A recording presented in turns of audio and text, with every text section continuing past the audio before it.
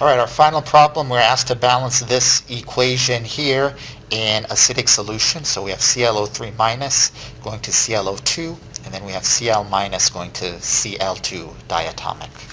So this is an acidic solution, and in acidic solution that means two things. It means that we have a lot of H plus around, and we have a lot of water around. So the first thing that um, we see first here is we have Cl minus going to Cl2.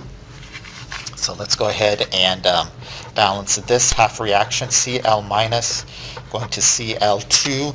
Uh, we can go ahead and balance out the chlorines and we'll balance out the charge um, here. So minus 2 here and the 2 electrons, 2e minus is minus 2 and it's charge balanced. Here we lose 2 electrons so this is called an oxidation half reaction.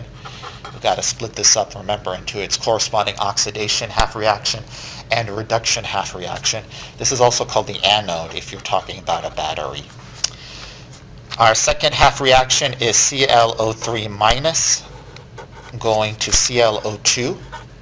So the chlorines are balanced. I'll balance the oxygens with water. Have two oxygens plus one oxygen is three oxygens. Let's go ahead and balance the hydrogens with H+. Plus. Since it's an acidic solution, it's perfectly legal. And now uh, we'll go ahead and, um, so actually this is going to be 2 H+, plus, right? 2 hydrogens plus 2 hydrogens is um, balanced. And now we will balance this out with bronze. So um, here we have 0 on this side of the product with no charge. And here we have plus 2 minus 1. Plus 2 minus 1 is plus 1. So we need, yes, we need 1 electron.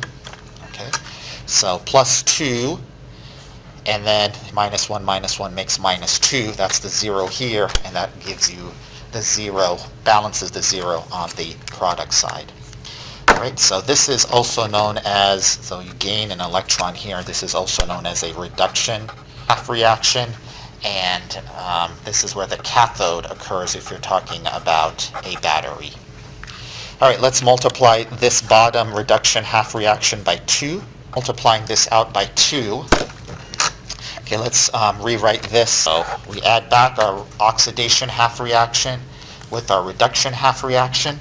We balance out our free electrons because we cannot have free electrons anywhere in the problem.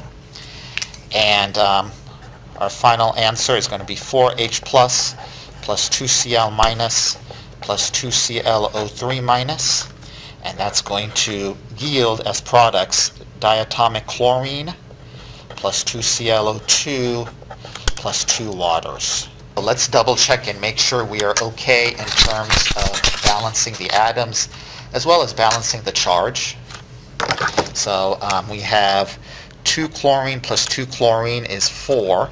2 chlorine plus 2 chlorine is 4, so 4 chlorine. Okay, that's good. Happy about that. Uh, oxygens and hydrogens kind of worry me. Um, we have 6 oxygens here. Here we have 2 oxygens plus 2 oxygens. Um, I'm sorry, we have 4 oxygens. 2 times 2 is 4. 4 plus 2 oxygens is 6 oxygens. And then my hydrogens. Here I see 4 hydrogens And here I also see four hydrogens. Okay, so far so good. Now it's coming to the charge.